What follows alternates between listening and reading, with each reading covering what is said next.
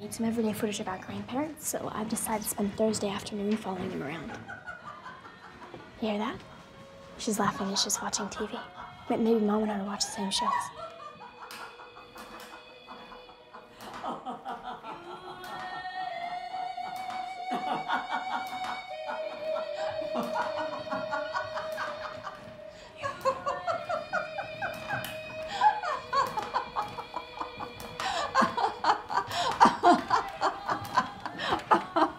Nana?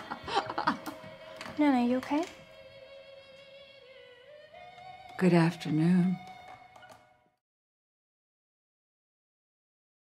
Welcome to Kermode Uncut. Have you seen The Visit, the new film by M. Night Shyamalan? And if you have, did you like it? Because, as you probably know, I didn't like it at all, but apparently I'm out of step with many other cinema goers. Now, as far as M. Night Shyamalan's career is concerned, I've been variable in my praise. I liked Sixth Sense, I loved Unbreakable, I defended Signs, I championed The Village, I lost all hope with Lady in the Water, I tried but failed to like The Happening, I gawped in disbelief at The Last Airbender, and I lost hope all over again with After Earth.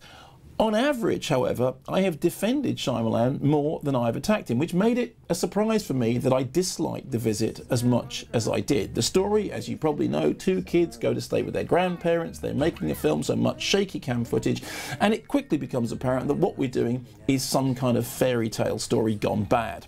Now, as far as I'm concerned, the shaky cam home footage thing has been done to death. The fairy tale stuff was done better in The Village. The twist ending was done better in The Sixth Sense. And as for cute little Ed Oxenbould's comedy rapping, well, frankly, I wanted to scrape my ears off with a cheese grater.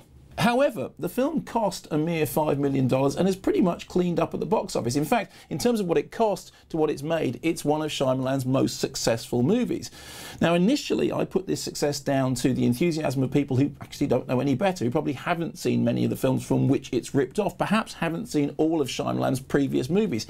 However, turns out that Mark Millar, the creator of Kick-Ass and somebody of whom I'm a huge fan, is also a fan of The Visit. He went on Twitter to say that he thought it was a really interesting movie, that he was really involved with the characters, that he liked the blend of comedy and horror, and most importantly, that he found the children wholly sympathetic and believable.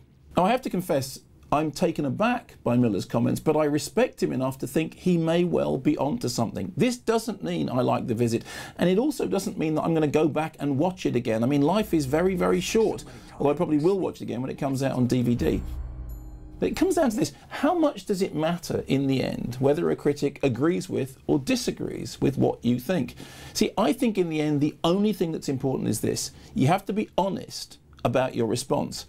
Reading some other reactions to the visit, there's a part of me that thinks, well, maybe there's a whole film there that I simply missed, but I'd be lying if I told you I liked the movie, and that's something I'm not going to do. Would you mind getting inside the oven to clean it?